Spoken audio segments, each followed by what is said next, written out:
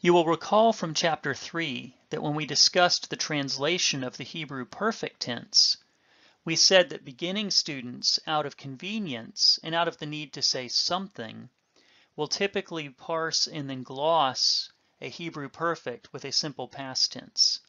In fact, though, there are many other possible contextual values, contextual ways of translating a Hebrew perfect tense, some of which are not a simple English past tense. The same dynamic is true of the imperfect, but possibly with a lot more variables. The Hebrew imperfect is often translated by beginning students, particularly when they parse and gloss, with a simple future, something like he will go. And that is okay as a parsing convenience.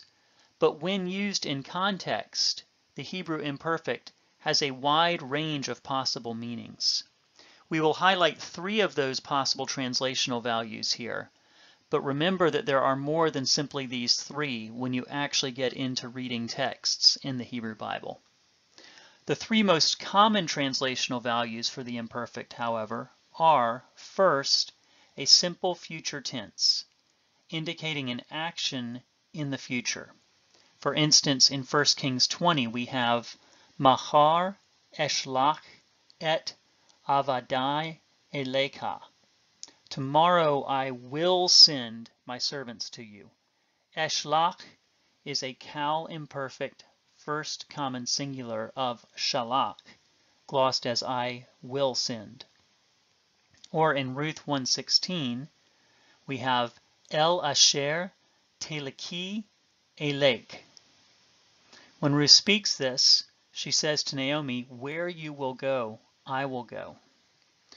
El Asher is what is being translated in English as where. Teleki is a qal imperfect, second feminine singular from the verb halak, which we will discuss in a moment. Where you will go. And elek is a qal imperfect, first common singular of the verb halak, which we will again discuss momentarily, glossed as I will go.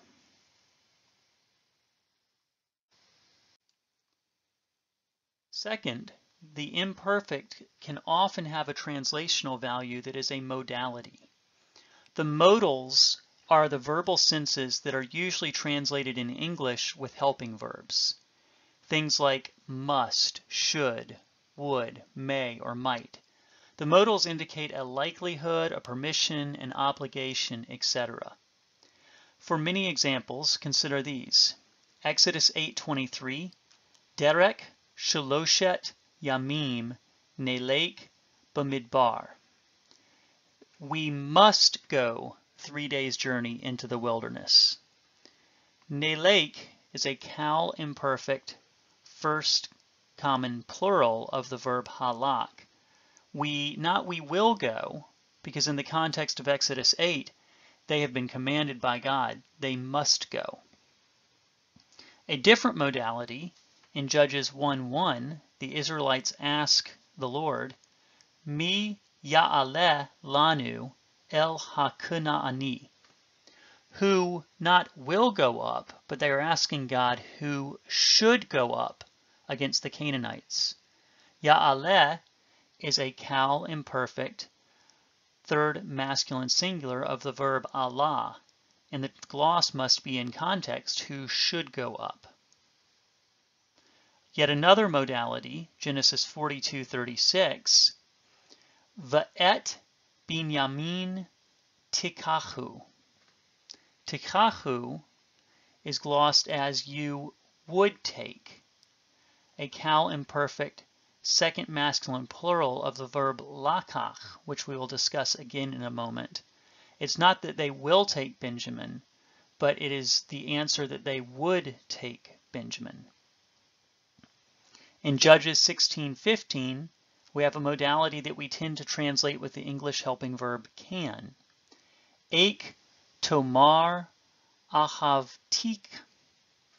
How can you say Tomar is a qal imperfect second masculine singular of Amar. And the modality here is one of almost disbelief, you would say. How can you say? Genesis 2.16 has a modality of permission. Mikol eitz hagan akol tokel. Tokel is a kal imperfect second masculine singular of the Hebrew verb akal, glossed as not you will eat from any tree of the garden, but you may eat from any tree of the garden. And finally, in Joshua 22:24, Mahar Yomaru Benechem Levanenu.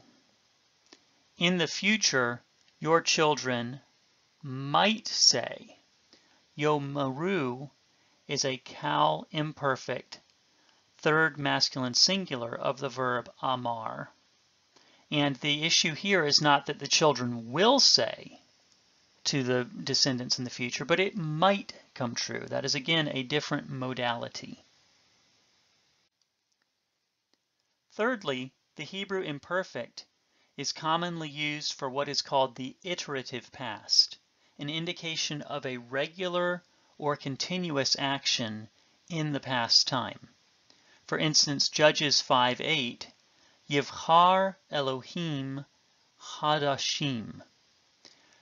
And it says, He, meaning Israel, was choosing new gods.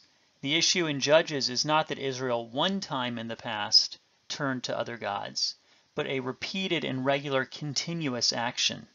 Yivchar is a kal imperfect, third masculine singular from Bahar, glossed in the context as he was choosing new gods. Remember again that these three possible uses of the imperfect are only three of many others, and for the others consult a more advanced grammar.